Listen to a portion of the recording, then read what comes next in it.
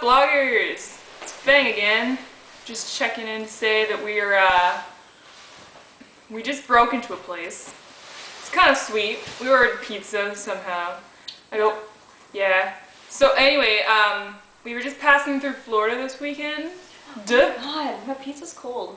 Maybe it's global warming's fault. What?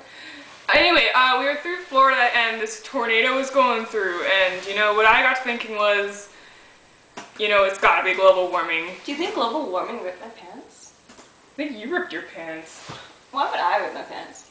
because you're a slob. Yeah. Anyway, the world's in such a total state of disaster. I mean, everything's sort of sinking into the ocean. There's ice caps mountain and all that. Let me guess.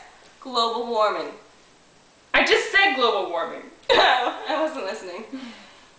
You Okay. kind of boring when you talk about your global Anyway, us kids. It's up to us kids. The children are the future. We've got to save the world from global warming because apparently nothing else. Yeah, nothing else. Are adults part of global Is it warming? all?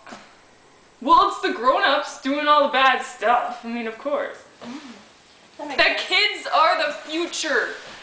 And, you know, we gotta save the world from whatever is happening. It's really hot in here. I wonder if it's global warming. of course it's global warming. Oh. But that's not that's not the point. Yeah. It's it's the ice caps mel- melting. It's uh, climate change.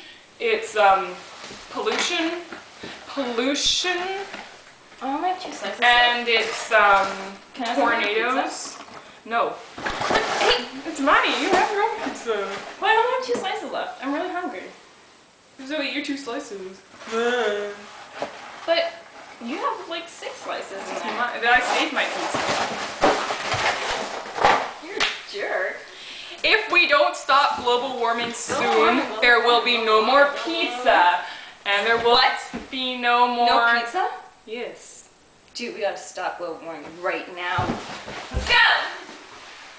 I think she's making fun of me, but this is serious business. Global warming, not cool. Simple plan is cool. Bang out. Did she actually leave?